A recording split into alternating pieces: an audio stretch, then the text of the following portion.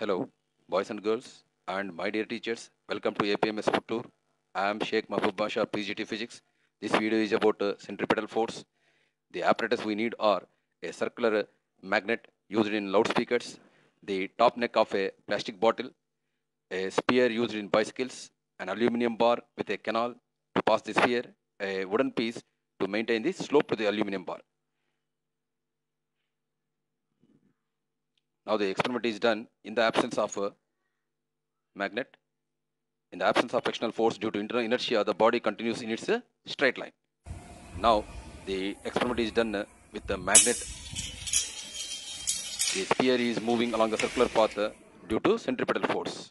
In the presence of radial force, the body moved in a circular path. Later, when the radial force vanishes, again the body continues in the straight line path. This is how the effect of centripetal force and the absence of centripetal force both are explained in a simple demonstration. Please subscribe my channel.